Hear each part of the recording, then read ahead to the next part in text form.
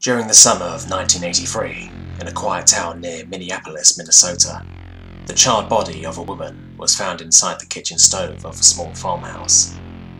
A video camera was also found in the kitchen, standing on a tripod and pointing at the oven. No tape was found inside the camera at the time.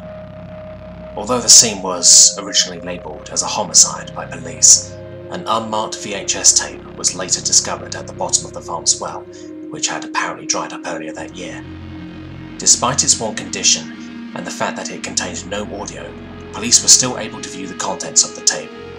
It depicted a woman recording herself in front of a video camera, seemingly using the same camera the police found in the kitchen. After positioning the camera to include both her and her kitchen stove in the image, the tape then showed her turning on the oven, opening the door, crawling inside, and then closing the door behind her. Eight minutes into the video, the oven could be seen shaking violently, after which point thick black smoke could be seen emanating from it. The camera then continued to stationarily point at the oven for another 45 minutes until the batteries apparently died. To avoid disturbing the local community, police never released any information about the tape, or even the fact that it was found.